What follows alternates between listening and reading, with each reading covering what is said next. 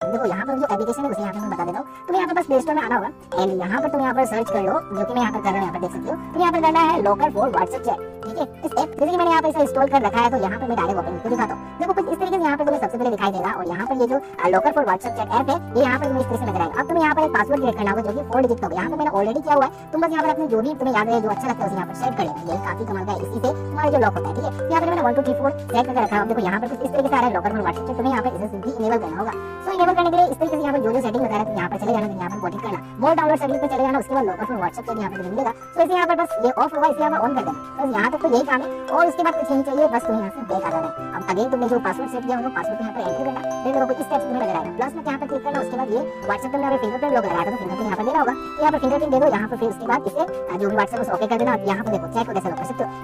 यहाँ पर चाहिए किसी भी एक को तुम यहाँ पर इजीली लॉक कर सकते हो। जैसे कि यहाँ पर मैं दिखा रहा हूँ अभी यहाँ पर दिया हुआ है, जो कि वोडाफोन इंडिया है आइडिया है। तो यहाँ पर तुम इस तरीके से सेट करते हो, यहाँ पर ऑटोमेटिक लॉक हो जैसे कि ये वाला मैंने टच किया, यहाँ पर मतलब जो टच करोगे, वो ऑटोमेटिक लॉक होता जाएगा। तुम यहाँ पर बैक आते हो अगेन वो पासवर्ड आएगा यहाँ पर देखो वी लॉक है, लेकिन राजा नहीं लॉक में टच कर लिया डायरेक्ट लॉक हो चुका है। अब इस तरीके से तुम लॉक कर सकते हो, लेकिन ये वर्क करता भी है कि नहीं, चलो दिखाता हूँ डायरेक्ट व्हाट्सएप में